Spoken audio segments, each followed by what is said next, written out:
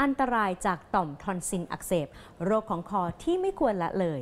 และในช่วงนี้นะคะ เราได้รับเกียรติจากแพทย์ผู้เชี่ยวชาญจากแอปพลิเคชันหมอดีค่ะ นายแพทย์ธีรพงศ์ตั้งกิจสถาพร แพทย์โสต ศอนาสิก ประจำแอปพลิเคชันหมอดีค่ะ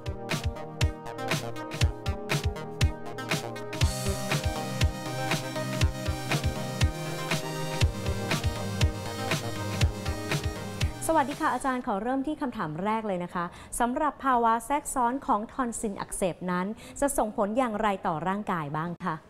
ภาวะแทรกซ้อนของต่อมทอนซิลอักเสบนะครับก็เกิดขึ้นได้หลายอย่างมากครับ อย่างเช่น มีฝีบริเวณรอบต่อมทอนซิลได้นะครับทำให้คนไข้มีไข้สูงนะครับแล้วก็อ้าปากไม่สุดนะครับมีผลก่อเรื่องการทานนะครับ อย่างเช่น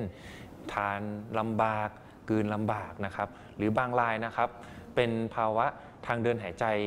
หรือทางเดินอาหาร ติดเชื้อชนิดลุกลามนะครับทำให้เกิดมีเหมือนหนองนะครับ ลามไปบริเวณช่องคอได้นะครับ หรือบางคนนะครับมีเรื่องของ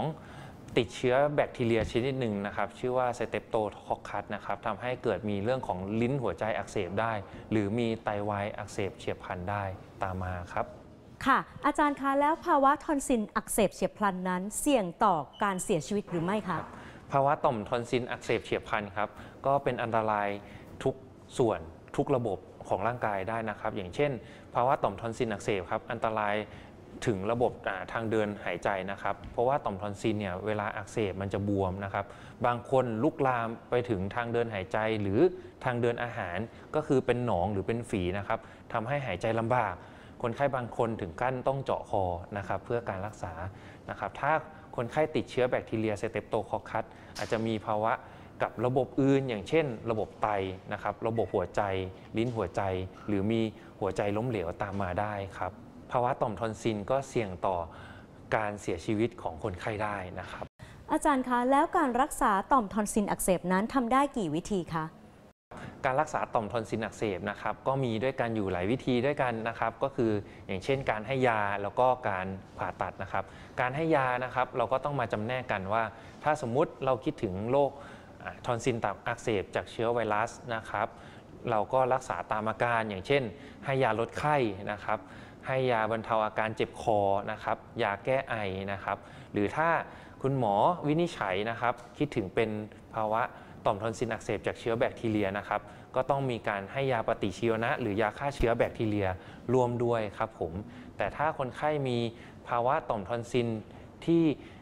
อักเสบเรื้อรังนะครับ หรือว่ามีการอุดกั้นทางเดินหายใจนะครับ การผ่าตัดก็เป็นทางเลือกอีกทางเลือกหนึ่งครับ อาจารย์คะแล้วการผ่าตัดต่อมทอนซิลนั้นทำได้อย่างไรบ้างคะครับการผ่าตัดต่อมทอนซิลนะครับ ก็ต้องเกริ่นก่อนว่า ก่อนผ่าตัดเราก็ต้องมีเริ่มจากการเตรียมตัวก่อนนะครับ ก็คือการเจาะเลือดดูค่าเลือดนะครับ ความผิดปกติเป็นเบาหวานไหมมีโรคประจำตัวเดิมของคนไข้ไหมนะครับเอ็กซเรย์ปอดตรวจคลื่นไฟฟ้าหัวใจนะครับ หลังจากนั้นนะครับ การผ่าตัดก็ต้องดมยาสลบนะครับ ซึ่งการดมยาสลบจะดมยาโดยคุณหมอวิสัญญีนะครับ หรือคุณหมอดมยาสลบนะครับ หลังจากนั้นนะครับ การผ่าตัด นะครับจะใช้เครื่องมือนะครับ ในปัจจุบันจะใช้เครื่องมือขนาดเล็กนะครับ ในการอ้าปากคนไข้นะครับ แล้วก็ใช้เป็นอาจจะเป็นจี้ไฟฟ้า หรือว่าเป็นเลเซอร์นะครับ หรือว่าเป็นเขาเรียกว่าเป็นคลื่นแม่เหล็กไฟฟ้านะครับ ในการตัดทอนซิลออกนะครับซึ่งการผ่าตัดต่อมทอนซิลนะครับใช้เวลาประมาณครึ่งชั่วโมงถึง 1 ชั่วโมงครับแล้วก็หลังจาก ผ่าตัดเสร็จนะครับ คนไข้ก็จะอยู่ในห้องพักฟื้นนะครับ แล้วก็ต้องดูแลตัวเองหลังผ่าตัดอย่างเช่นนะครับ การรับประทานอาหารนะครับ อาการปวดหลังจากผ่าตัดนะครับ ซึ่งหลังจากผ่าตัดต่อมทอนซิลคนไข้จะมีอาการกืนน้ำลายแล้วปวดมากขึ้น กินน้ำก็เจ็บมากขึ้น เพราะว่าแผลจะอยู่บริเวณในช่องปากนะครับ จะไม่ได้เห็นจากด้านนอกนะครับ อาจารย์คะแล้วการดูแลตัวเองหลังการที่ผ่าตัดต่อมทอนซิลแล้วต้องทำอย่างไรบ้างคะการดูแลหลังจากการผ่าตัดต่อมทอนซิลนะครับก็จะต้องระวังเรื่องหนึ่งภาวะปวดหลังจากผ่าตัดต่อมทอนซิลนะครับ อันดับ 2 ก็คือ ภาวะแทรกซ้อนต่างๆ อย่างเช่น ภาวะเลือดออกนะครับหลังจากผ่าตัดต่อมทอนซิลเนาะก็จะมีภาวะเลือดออก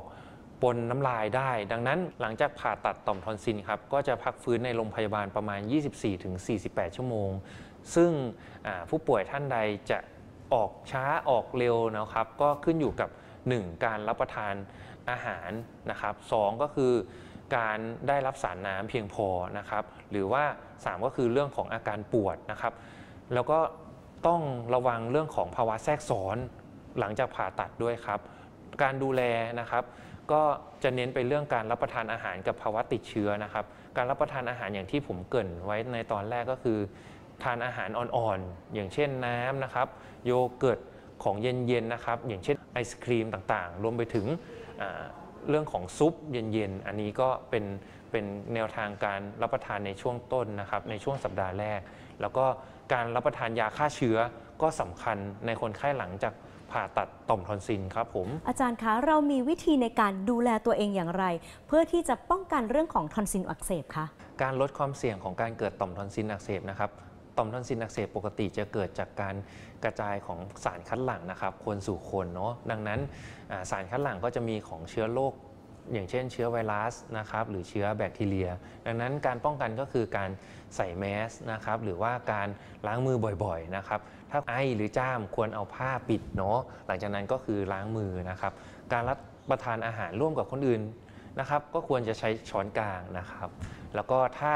คนไข้คนไหนเป็นต่อมทอนซิลอักเสบนะครับก็คือต้องป้องกันไม่ให้แพร่ไปสู่คนอื่นด้วย ดังนั้นคนที่ป่วยเป็นต่อมทอนซิลอักเสบก็ต้องใส่แมสนะครับหรือว่าล้างมือบ่อยๆนะครับแล้วก็